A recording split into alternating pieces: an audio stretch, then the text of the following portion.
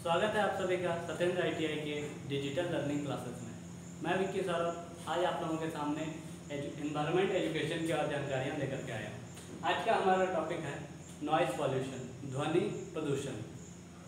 तो noise pollution क्या है?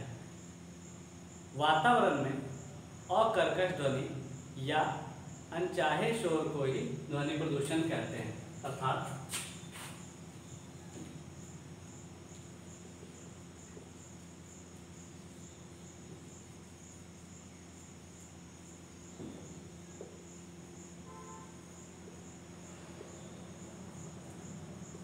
कर्कश ध्वनि या अनचाही ध्वनि को हम लोग ध्वनि प्रदूषण करते हैं। अर्थात इसे शोर के रूप में समझेंगे। इसे हम शोर कहते हैं वही ध्वनि प्रदूषण होता है। ध्वनि प्रदूषण के कारण क्या क्या है? ध्वनि प्रदूषण के दो कारण हैं। पहला है प्रा, प्राकृतिक कारण और दूसरा कृत्रिम कारण। ध्वनि प्रदूषण के दो कारण होते हैं। पहला प्राकृतिक, दूसरा कृत्रिम। पहला कारण, बादलों की गर्दन।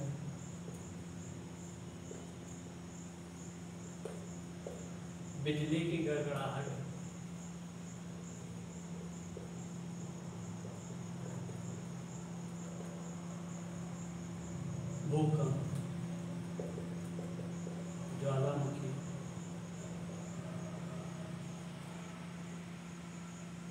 पत्थरों का टूटना।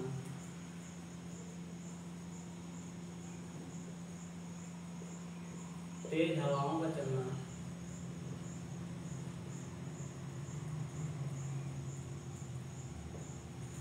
आदि, ये सभी वैसे कारण हैं जो कि प्रकृति द्वारा होते हैं और इनकी आवाज़ से ध्वनि प्रदूषण होता है। दूसरा कारण है कृत्रिम। अर्थात मानव निर्मित कारण। इनमें शोर गाड़ियों की आवाज़ें,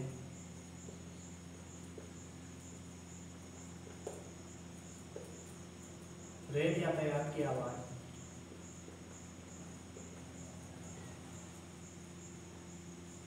वायुयानों की आवाज़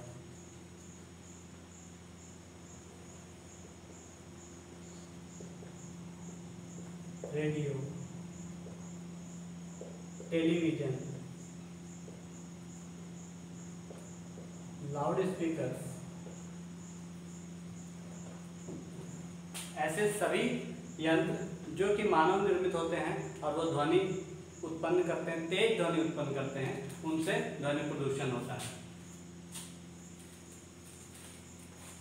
अब हम जानेंगे कि ध्वनि प्रदूषण के दुष्प्रभाव क्या हैं।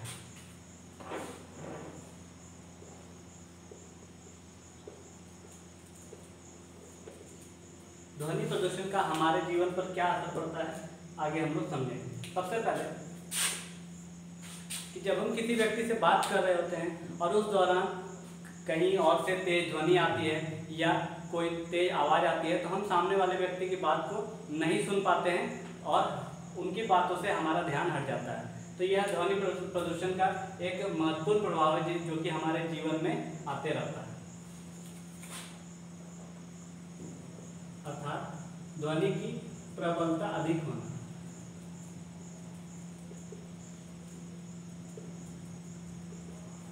जिससे कि मानव सामने वाले व्यक्ति की आवाज़ को ना सुन पाए।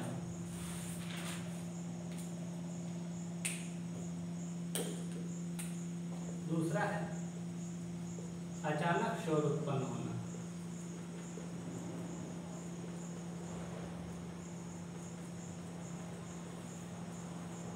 अचानक शोर उत्पन्न होने से वह ध्वनि हमारे शरीर में रक्त कोशिकाओं को प्रभावित करता है, जिससे कि ब्लड सर्कुलेशन धीमा हो जाता है और हमारे शरीर में बहुत सारे चेंजेस आने लगते हैं।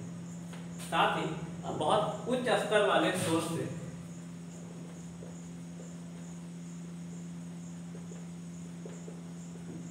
उच्च स्तर वाले शोर से हृदय गति बढ़ जाती है।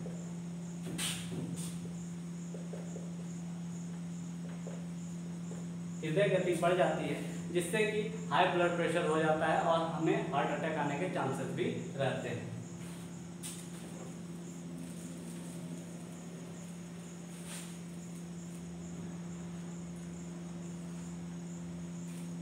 तीसरा है, आँखों पर प्रभाव। बहुत अधिक तेज ध्वनि से हमारी आँखों की पुतलियाँ चौड़ी हो जाती हैं और आँखों में जलन उत्पन्न भी होने लगती है।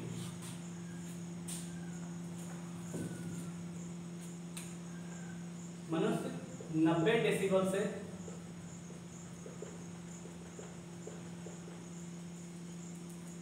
अधिक की ध्वनि को आसानी से सहन नहीं कर पाता है और 90 डेसिबल से अधिक की ध्वनि ही ध्वनि प्रदूषण के रूप में कहलाने लगती है। तो इस दौरान मनुष्य के रक्तचाप में वृद्धि हो जाती है और मनुष्य के शरीर में और अनचाहे बदलाव आने लगते हैं। इससे मनुष्य का स्वभाव भी चिड़चिड़ा हो जाता है और उस चिड़चिड़ेपन से उसके जीवन में बहुत सारे नुकसान होते हैं।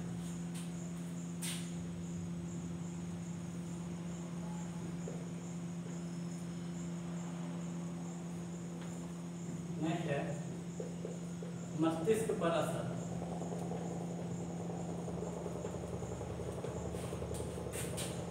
बहुत तेज ध्वनि हमारे तंत्रिका तंत्र को प्रभावित करती है और उसके कारण से मस्तिष्क पर असर पड़ता है और हमारे सारे शरीर में ढेर सारी बीमारियाँ भी हो सकती है और हमारे शरीर का संचालन खराब हो सकता है।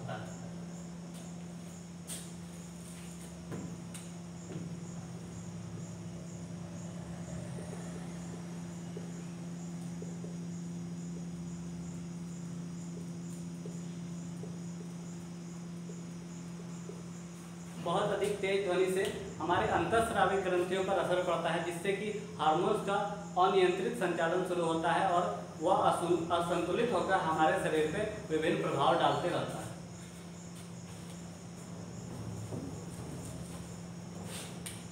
नेक्स्ट है। गर्भवती महिलाओं पर असर।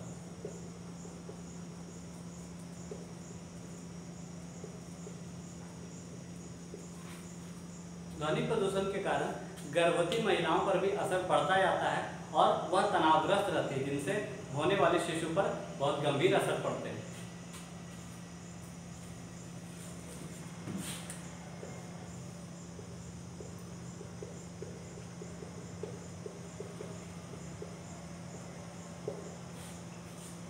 वैसे तो ध्वनि का निर्जीव जीवों पर सॉरी निर्जीव वस्तुओं पर कोई असर नहीं पड़ता है, फिर भी बहुत तेज ध्वनि से इमारतों पर दरारें आ सकती है।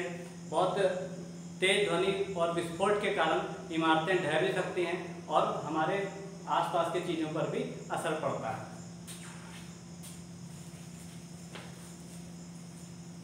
अब है ध्वनि प्रदूषण के नियंत्रण के उपाय।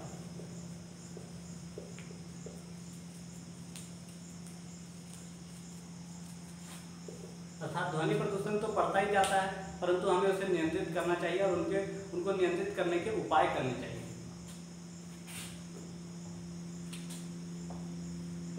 पहला है जागरूक करना।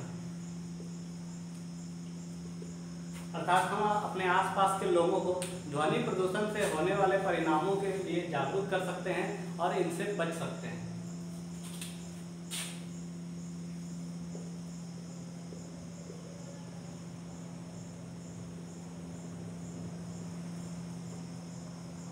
दूसरा है कि हम घरों में उपयोग करने वाले उपकरणों में जैसे रेडियो, टीवी, लाउड स्पीकर इन सबको नियंत्रित आवाज़ में ही चलाएँ और स्वयं भी धीमे स्वर में बोलें, जिससे कि ध्वनि प्रदूषण ना हो और हम उनसे बच सकें। साथ ही, घरों में होने वाले सांस्कृतिक कार्यक्रम, वैवाहिक कार्यक्रम या धार्मिक कार्यक्रमों में लाउड स्पीकर्स का तेज प्रयोग ना करें, जिनसे कि ध्वनि प्रदूषण ना फैले।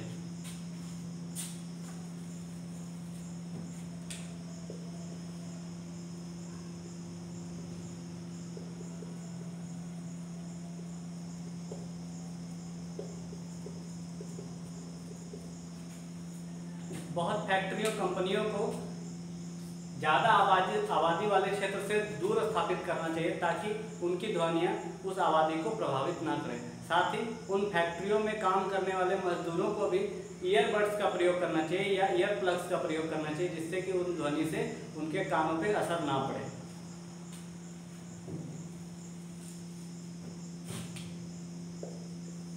नेक्स्ट है, मशीनों के रख रखाव से। अर्थात हम अगर मशीनों का रख रखाव अच्छे से करेंगे तो मशीनें ज़्यादा आवाज़ नहीं करेंगी, जिससे कि हम हम ध्वनि प्रदूषण से बच सकते हैं।